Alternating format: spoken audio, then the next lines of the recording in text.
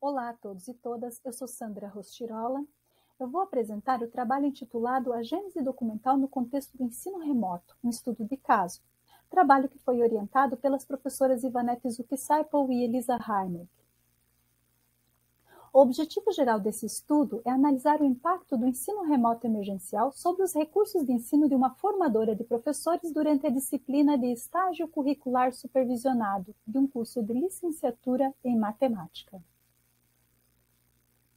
Os caminhos metodológicos adotados são de abordagem qualitativa e dizem respeito à metodologia de investigação reflexiva proposta por Truche et al. 2020, na qual o pesquisador e o pesquisado refletem sobre o fenômeno em estudo.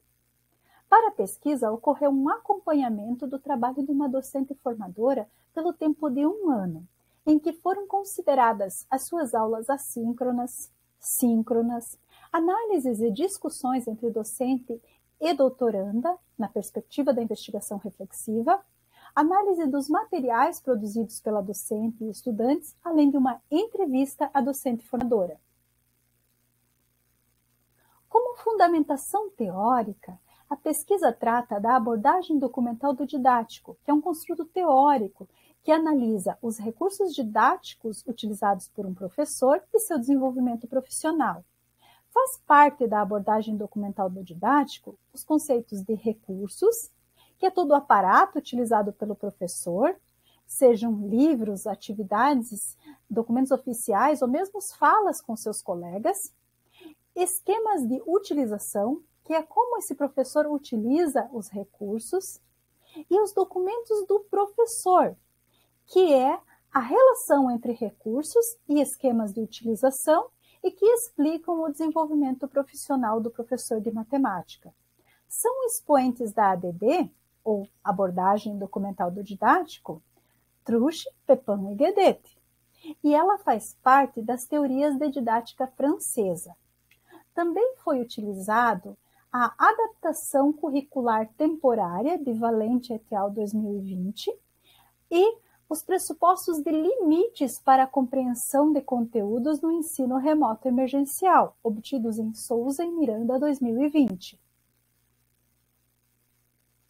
Na observação às aulas remotas, síncronas e assíncronas, percebemos que os materiais disponibilizados, as atividades e as reflexões permitem que o professor ou futuro professor amplie o, o, entendimento das dinâmicas da escola e cumprem fundamentalmente a proposta de ser a entrada do licenciando ao mundo educacional. Para o ensino remoto emergencial, a docente formadora usou a plataforma Moodle como sala de aula, como repositório de textos e atividades. Usou imagens, vídeos, redes sociais e também um blog. Deu importância a materiais passo a passo, em que reduziam os ruídos informacionais que explicavam as atividades aos estudantes.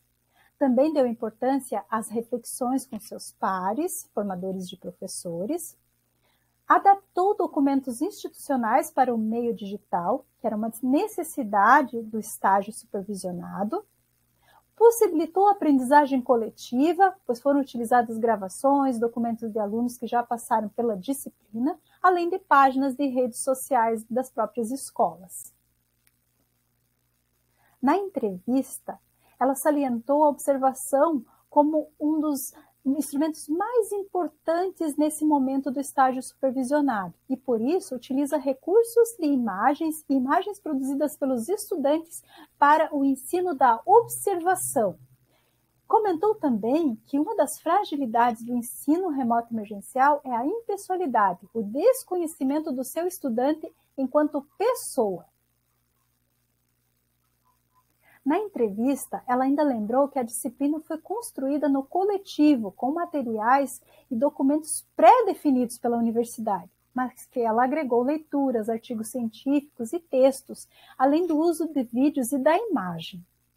O uso do blog se tornou um portfólio para registro, reflexão e até mesmo feedback da professora a seus estudantes.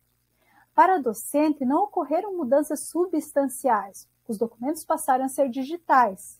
Na verdade, a principal mudança foi a interação com os seus educandos. Ela nos falou da importância que teve o auxílio dos pares nas reflexões e que as disciplinas de estágio desse curso de licenciatura em matemática tornaram-se um espaço integrado. Como considerações finais, nós temos que houve uma preocupação da professora Clara em seguir a estrutura institucional para as definições da disciplina de estágio primeiro, estágio 1, um, estágio supervisionado, que foi o nosso objeto de estudo. Mas ela conseguiu agregar seus próprios materiais. As reflexões dos licenciandos, os seus documentos didáticos, teve uma construção associada ao que ela acredita, ao que ela valoriza e naquilo que ela experienciou em sua vida acadêmica. Seus documentos didáticos, em termos de conteúdo, tiveram alterações mínimas, mas em tempos de pandemia, tiveram alterações estruturais, pois foram digitalizados, além de inseridos em uma sala de aula virtual. A interação com os educandos é que ficou comprometida, pois nesse período pandêmico ela teve que ser baseada nas tecnologias de comunicação. Muito obrigada pela atenção e seguem as nossas referências.